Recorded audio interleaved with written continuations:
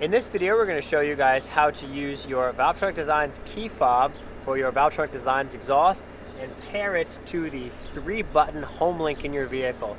Today we're in a 2021 BMW M340i, but this will work across almost every vehicle because nearly every vehicle uses HomeLink if your vehicle comes equipped with it.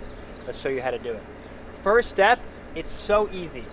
Hold the two outer buttons for about 15 to 20 seconds. You see that the light is on solid orange right now. You're gonna see it's gonna start blinking here shortly. After it starts blinking like that, that means all the memory's been cleared.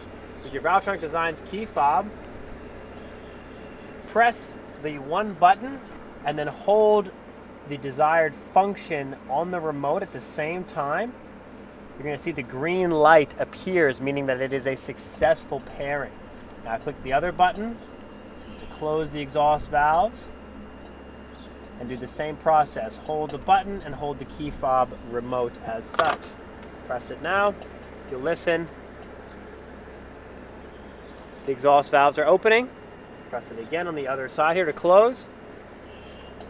It's that simple. So whether you got a Porsche, a Ferrari, a Lamborghini, McLaren, Mercedes, whatever it is, you can pair your Valvetronic Designs key fob to the home link.